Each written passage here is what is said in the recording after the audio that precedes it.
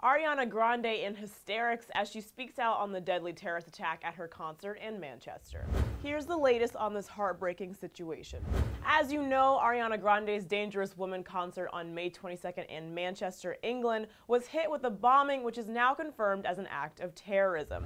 The world has come together to show love and support for the victims, their families, and for Ariana.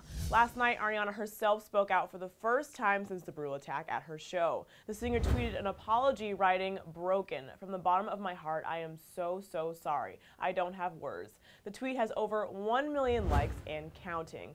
Fans are responding to Ariana with support and saying she shouldn't apologize because the attack wasn't her fault. TMZ has reported that Ariana was inconsolable and, quote, in hysterics after learning 19 people lost their lives at her show. The death toll has now risen to 22 innocent lives lost, in addition to 59 injured, and some people still reported missing. So far, two victims have been identified, one an 8-year-old girl and another an 18-year-old. This is the deadliest terrorist assault in Britain since 2005.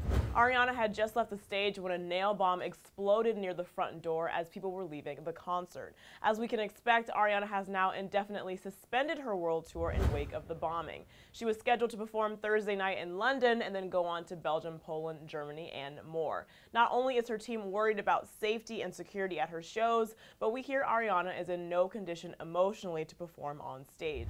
Our thoughts are with all those involved in this unthinkable situation. Please leave your love and support for Ariana and the victims down in the comment section below, and we'll keep you updated as more on this tragic situation unfolds. From Clevver, I'm your host, Drew Dorsey.